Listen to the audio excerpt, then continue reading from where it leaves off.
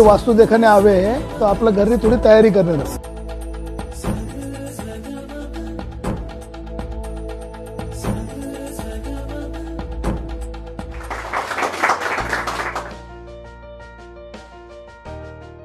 वा वा वा वा वा. मुलांच्या चांगल्या ठिकाणी स्वैरिकी व्हाव्यात आणि चांगली सून यावी आणि त्यांचा परिवार चांगला चालावा. वास्तविक वास्तूमध्ये दानधर्म होत असतील. अन्नदान होत असेल व्रतवैकल्य होत असतील. आणि सगळ्यात महत्त्वाची गोष्ट बाबी ही असते की पुरुषाच्या भाग्याची ताकद ही सौभाग्यवतीच्या चारित्र्यात लपलेली असते. आणि त्यामुळं ज्या स्त्रीचं चारित्र्य कणकर आहे आणि जी स्त्री जिच्या पायामध्ये लक्ष्मी म्हणतो ती सदैव आपल्या पतीच्या मागे अखंड उभी राहते. आणि या घरामध्ये येणारी प्रत्येक स्तू सून ही अशीच असावी. यासाठी या वास्तूला तशा पद्धतीने सून मिळावी म्हणून एक छानसा उपाय मी तुम्हाला सांगतो.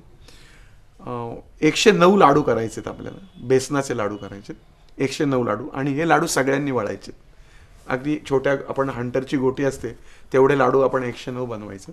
आता तुम्ही सोन्याचं किंवा चांदीचं ताट असेल तर त्याच्यावरती ते एकशे नऊ ते लाडू ठेवायचे. आणि एकशे नऊ त्या लाडवांवरती एक एक बेलाचं पान ठेवायचं. हे बेलाचं पान ठेवून घरामध्येच तुम्ही जर का बारा ज्योतिर्लिंगांपैकी काही ज्योतिर्लिंगांची यात्रा जर केली असेल तर ती ज्योतिर्लिंग डोळ्यासमोर आणायची. त्याला नमस्कार करायचे आणि ते लाडू गुरुवारच्या दिवशी शिवशंकराच्या मंदिरामध्ये ठेवून यायचे.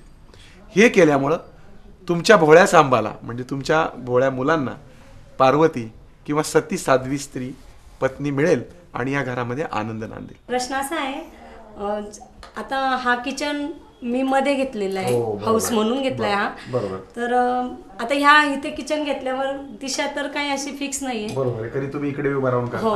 कधी इकडूनही चपाती फिरू शकता. म्हणजे जशी ऍडजस्टमेंट नाही ते स्वयंपाक होतोय माझ्या ऍडजस्टमेंटने तर मग हे आरोग्याला कसं आहे?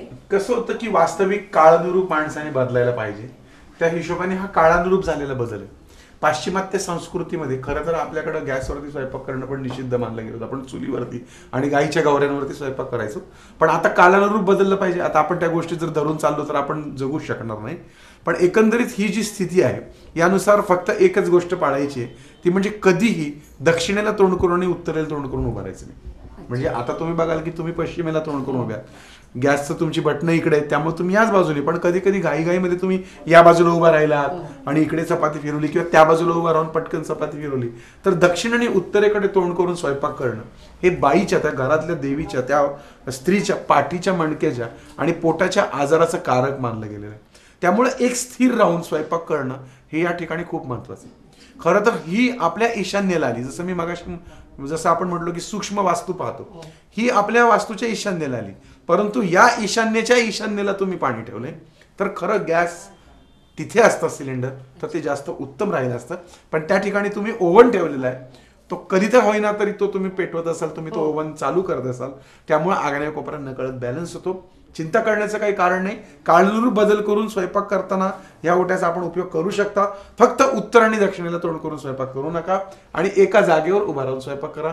कधी इकडे कधी इकडे कधी इकडे असं मात्र करू नका.